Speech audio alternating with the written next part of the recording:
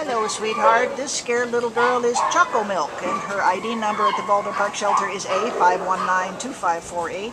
She is a little dachshund mix, about two years old, and came in as an owner surrender on June 22nd uh, because of landlord issues. And she came in with Lady, who we profiled a little earlier, a little fuzzball that uh, was also quite nervous.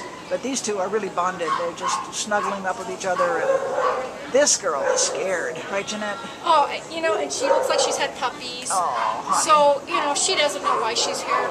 She's terrified. Well, she's been here just a hot minute. I mean, we just just got here, and she is really, really, really nervous.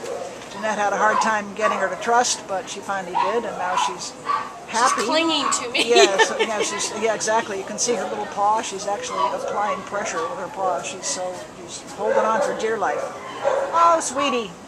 yeah, I couldn't get her to walk. No, I've been carrying her too everywhere. scared. Too scared. Yeah. So this is a situation where if you're looking for a dog to rescue, if you're looking for one that's needy, here's a good candidate. Uh, we have a lot of them, but this little gal, she's so sweet looking. My goodness, what a gorgeous little girl.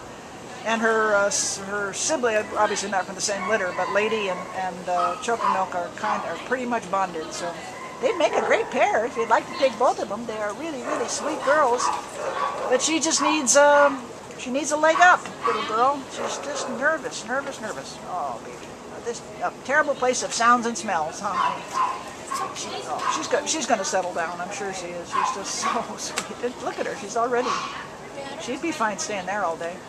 Right? yeah. You like you. Oh, what a good girl. This is Chocomilk at the Baldwin Park Shelter. She needs some help.